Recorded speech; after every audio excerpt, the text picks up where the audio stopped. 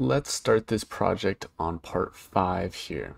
So I've done parts one through four and ended up getting this is the amount of money that I can spend on a mortgage payment or it's my mortgage payment allowance. Now this will be different for everyone depending on what you put for part one. So we have $1,540 is how much we can contribute each month towards this mortgage. Now mortgage is a loan because we will have a balance that we need to pay off and we'll pay that balance each month. So periodic payments and we're reducing the balance. That's a loans situation. So in the finance calculator, let's find the loans calculator. So we have this is the loans calculator and we're solving for the present value or the loan amount that we can afford because we have the payment or the deposit amount, which is the, in this case, 1,540. The interest rate we were given to be 4.8%. Enter as a decimal 0.048. The number of withdrawals or payments that we are doing is 12 because we're doing it each month. And then the number of years, we're doing a 30 year mortgage. So we hit 30, we hit enter, click off the screen, and we get that we can afford a $293,520 loan. And the next part is saying that we have $30,000 saved up that we can use as a down payment. So this is an additional amount of money that we can use to buy the house. So we can add this to the loan amount that we are able to afford. So we take our loan amount, which I'm just going to copy and paste it into Desmos, remove the comma, and we add 30,000 to that. So this is the new house purchasing price that we can afford. Now let's say I went on one of these uh, housing sites and found a house for sale in my area for $300,000. So this is the purchase price that I'm going to use and I'll leave the description and, and everything of the house up to you. So now I want to fill everything into an amortization table. So we first start with the purchase price, which is the price that we've got in part seven here. So that's the $300,000. And then the down payment, that is the $30,000. Hit enter and we calculate our loan amount, which is now $270,000 because we take away the down payment from the purchase price because that's what we have left.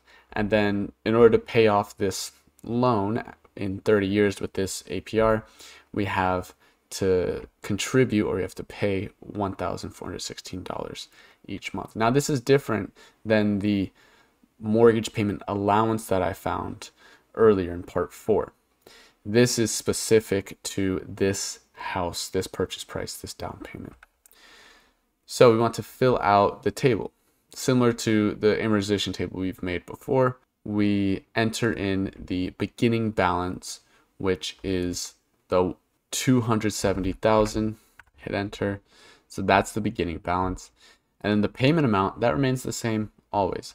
That is the $1,416.60.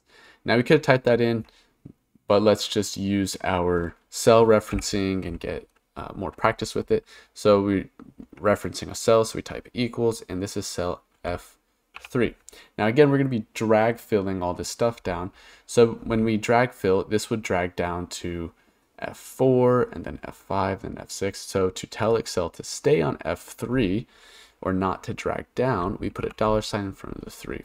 I hit enter and we can see that value in this cell is the value in cell F3. And now the to interest amount is the amount of interest that happens each month according to the previous month's balance.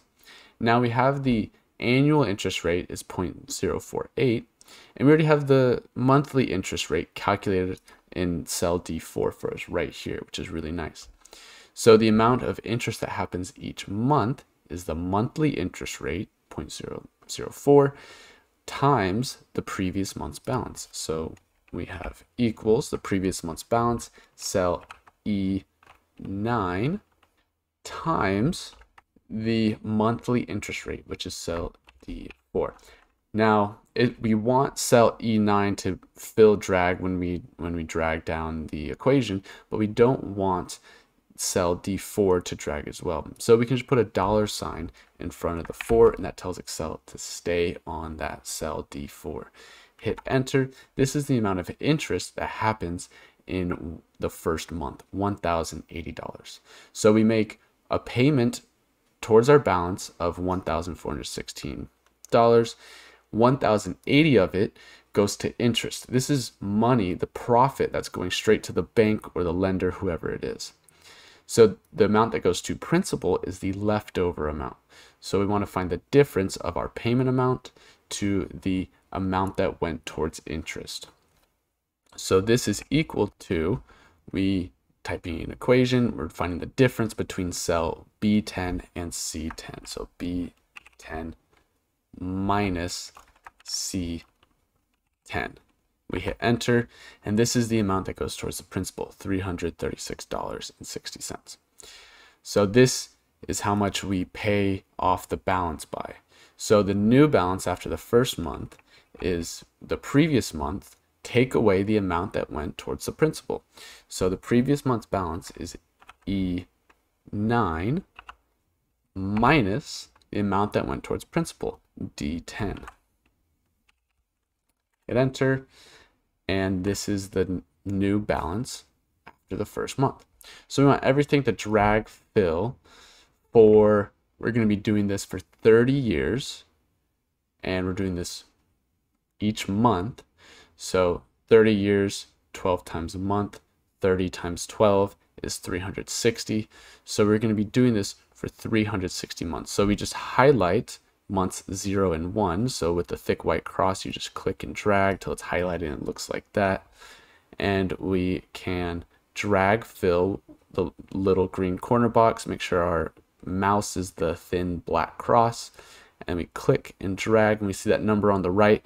We're gonna have to do this for a little while, drag until we see that number on the right is 360. Right now we're about 250 and we have now 360, gotta find it, there we go. So this is month 360 here. So if we scroll all the way back up, we can highlight with the thick white cross. You just click at the payment cell B10 and drag to E10, let go. And we have all this highlighted and we can drag fill by just double clicking the little green box. Make sure we have our mouse as the thin black cross. Double click. Now when we scroll all the way down, we should have our ending balance is close to zero. Now it might be off by a little bit just because of rounding here and there uh, in Excel. But if you're within you know a couple dollars, that's good. But here we have exactly zero, which is great because that means that after 360 months, we have paid off our balance. And we can touch on some of these last few questions here. A lot of them can be done without Excel, but just to get better with our Excel knowledge, let's look at how we can figure out or solve these problems using Excel. So this first part here is asking if we keep the house for the entire life of the loan, how much will we pay in total? Now this is a great way to utilize the sum function. So we can type equals, we want to sum all of our contributions towards the loan. So everything that we paid or all the money that we put into this loan, we want to add together. So we do equals, because it's an equation, sum, S-U-M, that's the sum function, and we do a parenthesis, and now we want to sum all of our payments. So we can sum all of our payments by using a range of cells. So we might have to scroll up and see what is the beginning of the range. So the very first payment is on cell B10. So let's scroll down. So we're starting our range at cell B10. So at cell B10, and we're going all the way to cell B369. It's very far down. Cell B369. And we see that now that highlights all of these cells here. So that's highlighting that entire range that we just put in. And we can see it's all highlighted from the very first payment all the way to the last payment. So that's going to add up all of those payments. And if we hit enter, then we get about $509,000.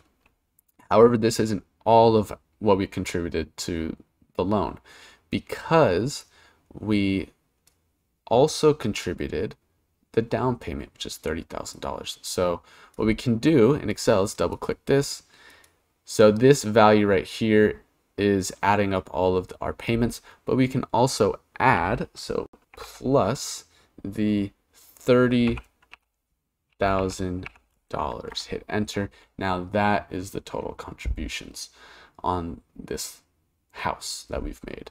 All the payments of the loan plus the down payment. And we can do something similar for the interest payments.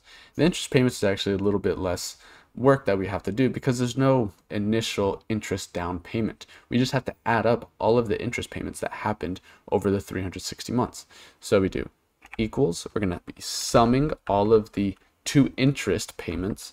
So sum, do a parenthesis, and we already have the uh, range in mind. So we're going from cell C10 colon, which tells Excel to do a range, all the way to cell C369. We close the parenthesis, hit enter, and if we scroll all the way back up, we can see we start with this cell here, the cell C10, that's the very first two interest amount, and we scroll back down, and that is the total sum of our interest payments. And now Excel is already trying to find patterns and it's recognizing uh, what we're doing and it, it trying to find the difference between these two, the two interest amounts and the payment amounts. However, we will not need that, so we can just delete that. The next part is asking us if we want to sell the house after five years, how much will we still owe? So five years, we have to think about how many months is that because our table is by months five years is 60 months because 12 months in a year. So five times 12 is 60. So if we scroll up to month 60 right here, this has all the information that we're going to need. So we're asked to figure out how much we will still owe. Or in other words, what is the remaining balance on this loan? Well, it's just that 247,000. So that's all this part is asking for, part 11. And then on the last part is saying if you sell the house after five years, how much equity of the house will you have? Now, there's multiple ways to figure this one out. Equity means how much of the house do you own or how much has gone towards the principal already. So what we can do is see how much has gone towards the principal or how much have we put into the actual value of the house or how much have we reduced our balance by. So what we could do is we could just see what are all the two principal payments. So we're going to be doing a sum and we type equals sum, do the open parenthesis. We want to see where do we start. So we're starting at for all the two principal payments because when we say on this first payment is $336 to the principal, that's that's saying that we got $336 of equity. That's ownership of the house that we got in that first month. So this is cell D10. So we're going cell D10 and we're doing a range, so colon, all the way down to cell D69 because that's in this month 60 here. So D69 and then close parenthesis. Now again, when we do this, we hit enter, we have $22,000 that we have made um, towards the principal. So these are all the two principal values added up. So that's how much equity we have from the payments. However, we also have the down payment, which we have to take into account. That is just straight equity. When we first purchased the house, we already had $30,000 of equity, or we paid $30,000 of the house already. So we can add $30,000 to all the two principal payments and we hit enter that's how much equity we have of the house after five years